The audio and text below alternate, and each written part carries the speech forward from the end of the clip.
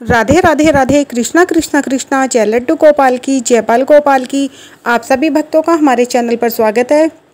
आज की वीडियो में बात करेंगे, शरद पूर्णिमा से ही कार्तिक मास प्रारंभ हो जाता है। शरद पूर्णिमा बहुत ही अच्छी पूर्णिमा मानी जाती है। खूब ही शुभ फल देने वाली होती है, सुख समृद्धि देने वाली होती है।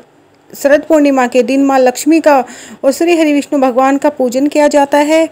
शरद पूर्णिमा के दिन अमृत वर्षा होती है। रात में चाँद सोलह कलाओं से परिपूर्ण होकर अपनी किरणों को पृथ्वी पर बिखेरते हैं और उससे अमृत वर्षा होती है। इसीलिए शरद पूर्णिमा के दिन खीर ज़रूर बनाइए और खीर बनाकर समस्त देवी देवताओं को भोग लगाए और खीर को रात में किसी जालीदार कपड़े से ढक के चाँद की, किरणों के नीचे रख दें, जिससे कि चाँद की किरणें आपकी खीर में जाए और वह अमृत समान हो जाती है। उसको खाने से समस्त रोग से छुटकारा मिल जाता है। घर में सुख, शांति, समृद्धि बढ़ती है। समस्त मनोकामनाएँ पूरी होती है।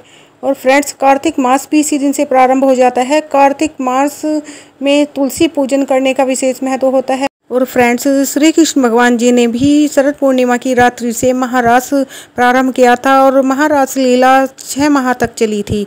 तो यह बहुत ही विशेष पूर्णिमा होती है। शरद पूर्णिमा यानी अमृत वर्षा। शरद पूर्णिमा की रात में अमृत वर्षा होती है।